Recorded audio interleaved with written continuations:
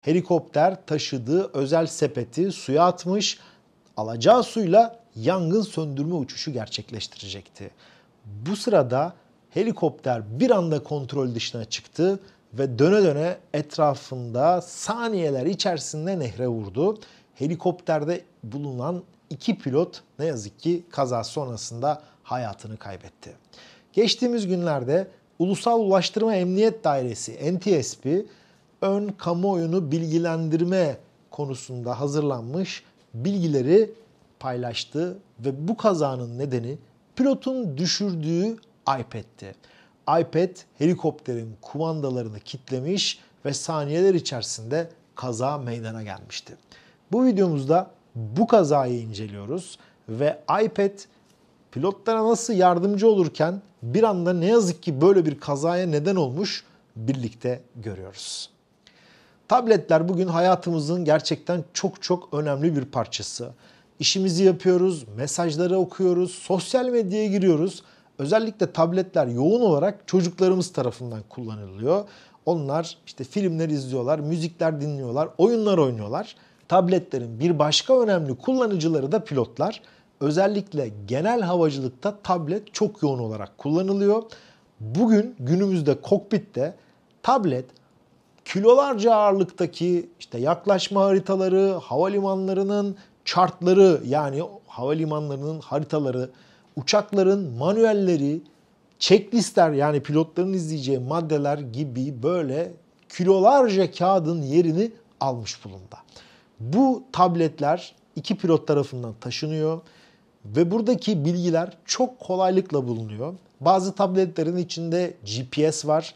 GPS sayesinde havadaki diğer trafikleri takip edebiliyorlar. Uydu üzerinden aldıkları bilgilerle uçağın nerede olduğunu görebiliyorlar. Adeta iPad hayat kurtarıyor. Ama bu kazada iPad çok önemli bir zorluk oluşturarak ne yazık ki kazanın ana nedenini oluşturmuştu. Ülkemizde de Chinook'ların sivil modelleri Amerika'dan kiralık olarak e, ülkemizde uçuyorlar ve orman yangınlarıyla mücadelede önemli bir rol oynuyorlar. Bu helikopter Türk Silahlı Kuvvetleri tarafından da kullanılıyor ve bu sene ilk defa özel bir Bambi sistemi geliştirildi. Bu tür yangın operasyonlarına silahlı kuvvetlere ait askeri Chinook'lar da destek veriyor. Tabletlerde dediğim gibi hem askeri hem de sivil havacılık tarafından yoğun olarak kullanılıyor. İşte bu uçuşta da helikopterde görev yapan ikinci pilot bir tablet taşıyordu. Bu tablet göreve başlayacakları sırada yani suyu alıp yangın bölgesine gidecekleri sırada bir anda ikinci pilotun elinden veya kokpite takılı olduğu yerden düştü. O sırada pilot bununla ilgileniyor muydu? Niye düştü? Ne yazık ki bilemiyoruz. Fakat tablet düştükten sonra pilotun hemen ayaklarının orada yer alan rudder olarak adlandırılan pedallar vardır. Bu pedallar hava araçlarının istikametinin işte sola basarsanız sola dönüş, sağa basarsanız sağa dönüş, yerde ise tekerlekli sistem varsa genellikle de uçaklarda olur bu. Birlikte bastığınız zaman da fren etkisi gerçekleştirir ve bir anda bu tablet sol rudder pedalın oraya girerek rudder'ın sola basmasına ve kilitlenmesine neden oldu. İkinci pilot hemen bunu almak istedi. Bu sırada sorumlu olan sol tarafta oturan kaptan pilot da sağ radar'a basarak toparlamaya çalıştı. Fakat oraya düşen iPad adeta sistemi ve radarı kitlemişti. Bu sırada ikinci pilot düşürdüğü iPad'i ne yazık ki alamadı. Çünkü kolu oraya yetmiyordu ve aynı zamanda taktığı kask da eğilmesini engelliyordu. Kafası kokpitin göstergelerine doğru e, vuruyordu. Helikopterlerde pilotların alt bölümlerinde o radarın, radarın olduğu bölgede aslında bir cam bölge vardır. Helikopterde derin ikisi çok önemli. Çünkü yaklaşma ve inişte artık helikopter iyice yavaşlar ve orada da işte rüzgarın durumuna e, veya hamlesine göre çok ince ve yumuşak kumandalar vererek helikopteri oturtur veya kalkış sırasında çok dikkatli olunması gerekiyor. Çok minik kumandalar verir. Burada da pilotun yeri takip etmesi açısından, yeri görmesi açısından çok önemlidir.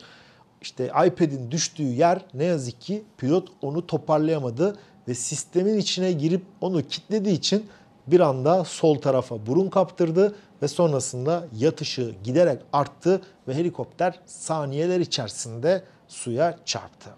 Açıklamalara bakarsanız NTSB'nin hazırladığı ön kamuoyu bilgilendirme notunu sizlere için linkini koyuyorum oraya. Daha detaylı olarak e, meraklı arkadaşlarımız buraya tıklayabilir. Ön bilgiyi görebilirler. Zaten kazanın raporunda önümüzdeki günlerde açıklanması planlanıyor. Buradaki kaza notlarında ayrıca videodan da bir değerlendirme yapılmış. Videonun işte e, saniyedeki resim sayısı, frame'i ve diğer çekim açıları nereden çekilmiş, ne yapılmış rapora bu bilgiler de konulmuş. Buradan yapılan incelemelerde helikopterin kumanda sistemiyle ilgili herhangi bir soruna veya motorlarla ilgili herhangi bir soruna rastlanmamış ve iPad'de e, nehre düştükten e, kokpitin vurduğu yerin birkaç metre ilerisinde 3 yerden parçalandığı tespit ederek bulunmuş. Bunun o takıldığı yere konduğu zaman iki noktadan çok ağır hasarlandı. Bir noktadan da daha hafif hasarlandı. Yani o bölgeye el, elden düşürürse bu tablet benzer bir hasarın oluşacağı da NTSB tarafından tespit edilmiş. Videomuzun ikinci bölümünde ikinci bir olayı sizlere anlatmak istiyorum. Bu olay uzun süre nedeninin iPad olduğu ifade edilse de sonrasında çok ilginç bir neden çıktı. 2016 yılında Mısır Hava Yolları çok ilginç bir kazaya karıştı.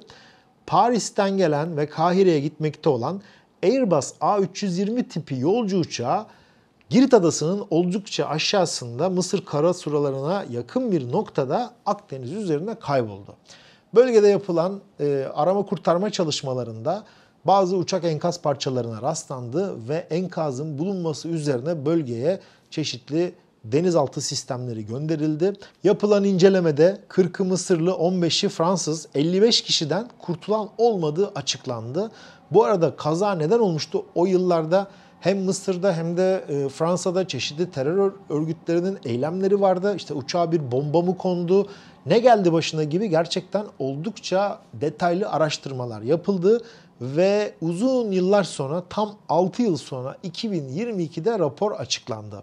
Öncelikli olarak uçağın kaza nedeninin kokpitte şarjda bulunan, ısınan ve yangın başlatan bir iPad olduğu ifade edildi. Hatta kaptan pilotlardan bir tanesinin de bir iPhone 6s cihazı vardı. Onun yangını başlattığı tahmin edildi. Kazada pilotlardan biri elektronik sigara kullanıyordu ve elektronik sigarayı kullanırken ikinci pilotun acil durumlarda yararlanacağı oksijen maskesi açık durumdaydı. Bu oksijen maskesi bakım sırasında yanlışlıkla açık pozisyonda bırakılmıştı.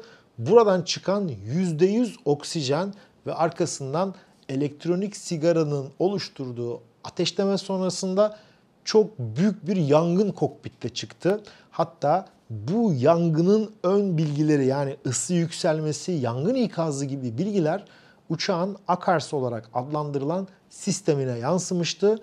Uzun süren yaklaşık 6 yıl süren çalışmaların sonrasında kazayı araştıran Fransız Havacılık Kaza Kırım Otoritesi, BEA ve Mısır Otoritesi ortak bir rapora imza attılar ve kaza nedeninin ne yazık ki elektronik sigara olduğu ortaya çıkmış oldu. Bu videomuzda farklı bir kaza raporuna ve gelişmelere birlikte bakmaya çalıştık. Gerçekten e, kaza raporları incelemesi çok çok ilginç, çok enteresan sonuçlar çıkartabiliyor. Bu konuyla ilgili e, ben ilgili linkleri açıklamalara bırakıyorum. Meraklı arkadaşlarımız buraya tıklayıp bakabilir. Sonuçta çok ciddi bir uzmanlık gerektiren konular bunlar. Artık ülkemizde de biz de uzun yıllardır yazdık, videolarımızda söyledik. Ulaştırma Bakanlığı kaza kırım ekipleriyle ilgili yapılan çalışmalar yavaş yavaş bakanlığın web sitesinde de yer almaya başladı. Bu raporlar bu işe gönül koymuş insanların yanı sıra sektörel eğitim açısından çok büyük önem taşıyor. Herkese emniyetli ve keyifli uçuşlar diliyorum.